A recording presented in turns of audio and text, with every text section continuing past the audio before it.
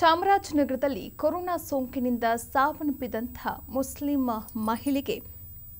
ಮಹಿಳೆಯ ಅಂತ್ಯ ಸಂಸ್ಕಾರವನ್ನು ಪಿಎಫ್ಐ ಸ್ವಯಂ ಸೇವಕರ ನೆರವಿನೊಂದಿಗೆ ಮುಸ್ಲಿಂ ಧರ್ಮದ ಪ್ರಕಾರ ಅಂತ್ಯ ಸಂಸ್ಕಾರ ಮಾಡಲಾಯಿತು ಇನ್ನು ಗುಂಡ್ಲುಪೇಟೆ ರಸ್ತೆಯಲ್ಲಿರುವಂತಹ ಖಬ್ರಸ್ಥಾನದಲ್ಲಿ ಬಕ್ರೀದ್ ಪ್ರಾರ್ಥನೆ ಸಲ್ಲಿಸಿ ಹನೂರು ತಾಲೂಕಿನ ಮಹಿಳೆಯ ಅಂತ್ಯ ಸಂಸ್ಕಾರವನ್ನು ನೆರವೇರಿಸಲಾಯಿತು